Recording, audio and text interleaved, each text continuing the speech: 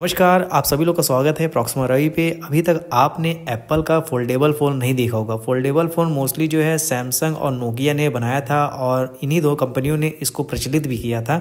मगर अब एप्पल भी जो है फोल्डेबल फ़ोन लाने वाली है और कहा जा रहा है ये फ्लिप स्टाइल में होगा फोल्डेबल फ़ोन और ये टोटल दो फ़ोन लॉन्च करेगी एप्पल की कंपनी एप्पल ये जो फ़ोन है 2025 या फिर 26 में लॉन्च करेगी और इसका जो है मास प्रोडक्शन एप्पल नहीं करेगी। फ़र्स्ट टाइम एप्पल देखना चाहती है कि क्या कंज्यूमर के बीच में फोल्डेबल फ़ोन उतना प्रचलित है जितना वो सोच रहे हैं। ये रिपोर्ट्स के अनुसार एप्पल इस समय एशियन मैन्युफैक्चरर से बात कर रही है। फोल्डेबल फ़ोन से जुड़ा हुआ जो है सोर्स पार्ट जानने के लिए। जल्दी इससे जुड़ा हुआ अपडेट आपके सामने आएगा। दो में भी एप्पल ने सोचा था फोल्डेबल फ़ोन बनाने का, मगर उन्होंने ये प्लान अपना कैंसिल कर दिया। ये भी कहा जा रहा है कि फोल्डेबल आईपैड भी आ सकते हैं मार्केट में 2026 में। एलजी और सैमसंग जो है, दोनों ही फोल्डेबल आईपैड के ऊपर काम कर रहे हैं।